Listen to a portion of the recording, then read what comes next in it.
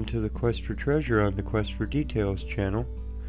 Today we're working with some rhyolitic tuff. This is compressed volcanic ash. It's been made into a stone and then through weathering and water it's been banded, stained, developed banding. These are pieces of the stone that didn't have as much landscape patterning in it as the others but I still wanted to work with the material it's got really cool uh, dendritic growth and and the same pretty colors. So we're going to try and make some 3D objects out of it a pyramid maybe an obelisk and then um, do some surface line work carving with the Dremel in it. It's a pretty soft material and I think that it will work out pretty good. It'll be strong enough to be able to hold the sharp lines and get pretty intricate with it so I'd say the hardness of the stone is about equal to cutting through a soft brick so you really don't have to struggle very much to get the blade through it and that ease of cutting allows you to be uh, creative so it's a good thing to practice with for sure just like carving soap before you would carve rock or or any softer thing that you can work on and again, this is just a regular tile saw that I have um, set up with a little extra water flow than it would normally have. Instead of running it through a little pump, I'm using a larger flow hose. And this is the result. We have the basic shapes. These are going out in the yard. They're pretty, but they have fractures running through them and flaws that don't make it worth dealing with. And now it's literally off to the drawing board just some indelible marker and went over it doing some basic line work. This is what I call the two dragons. So it's kind of a, a Celtic weave or just a basic line work. I've been doing it most of my life so it comes natural and I've done all sorts of variations on on the line work itself and of course these are just basic knots. So we're ready. I'm going to go ahead and take a Dremel with a diamond embedded tip on it and that's what we'll be using with a little bit of water to just go ahead and move through this.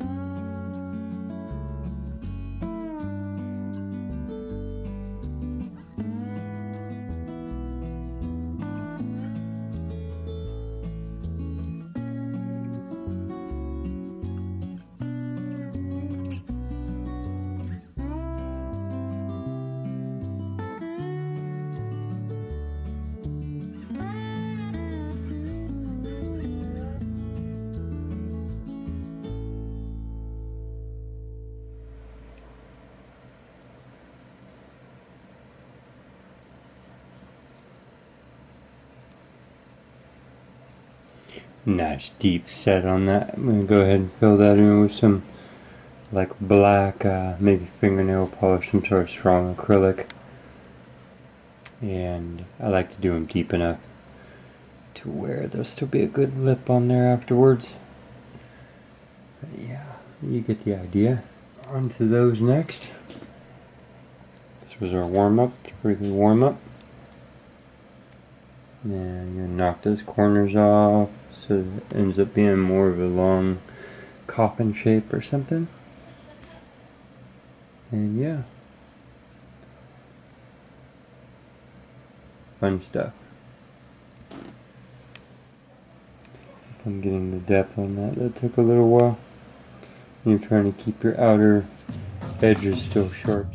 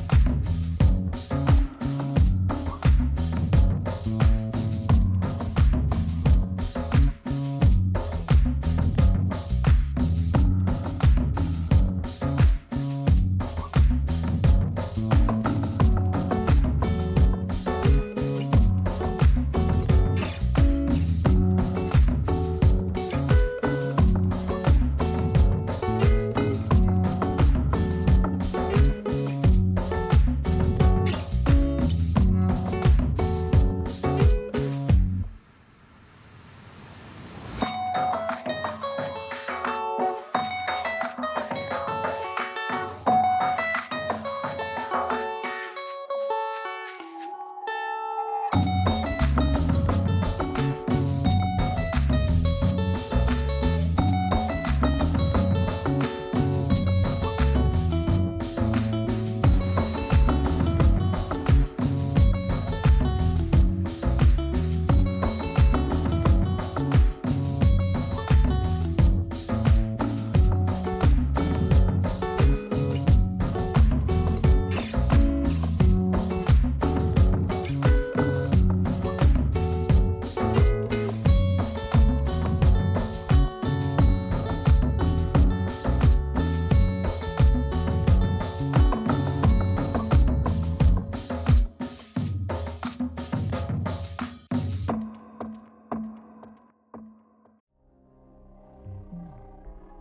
Yeah, so there's about a good hour's worth of work sped up and put to some tunes for you.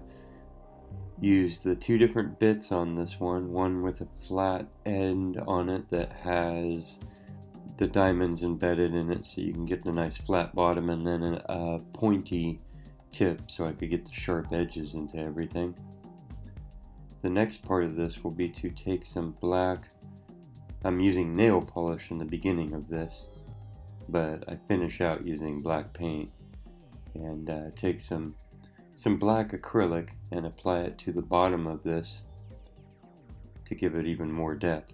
You could leave it natural, that actually looks pretty cool in itself. I decided to go with the, uh, the darker on these. The first one you can see is finished out.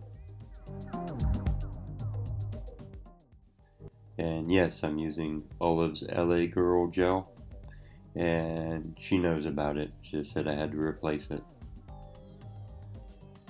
You see there's a nail polish on the surface and I'll just sand it off and it'll clean up like that and have its sharpness. Although now the black has dust that I'll have to rinse out of there, but you get the idea. And still kept the depth.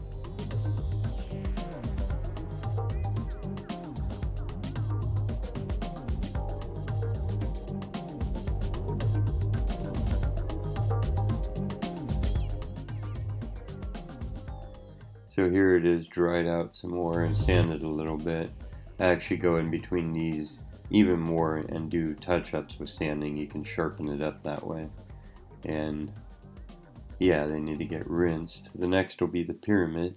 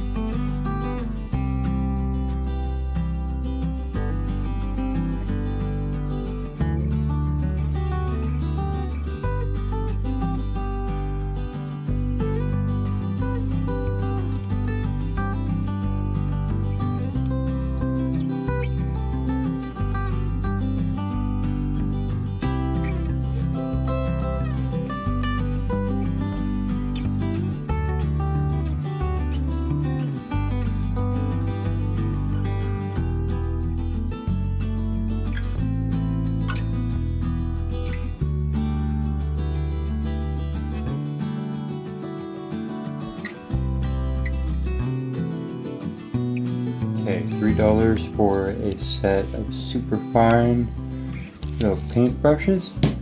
Now I'm using some acrylic paint. I'm going back over these that I, uh, I'm going back over these that I originally did with uh, Olive's nail polish. And if you go outside the lines a little bit, it is okay because we're still going to sand the surface off after we're done cutting and, doing the other things that we need to do to it to finish it out. The other thing that I did was I picked up some Krylon varnish. And now I'm going back over these that we've carved and uh, there'll be more cutting, finishing the drawings on these, and um, yeah, I think I said everything. Nip the ends off on that one so it's more of a, a coffin shape. Um, sanded it down, just gotta varnish it. Same thing with this one, cut it more into its Star Trek Celtic insignia.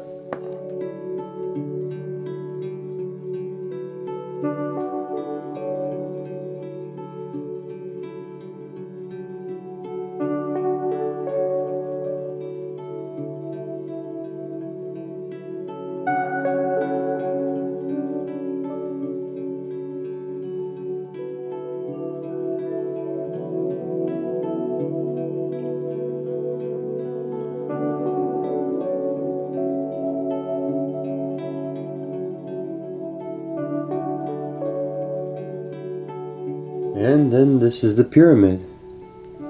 And I took the two back corners off. It had a natural flaw on one side, so I just went ahead and balanced it out. And the colors in it, you'd see they weren't sharp landscapes. That's why we went ahead and started with using this for other things besides the landscaping.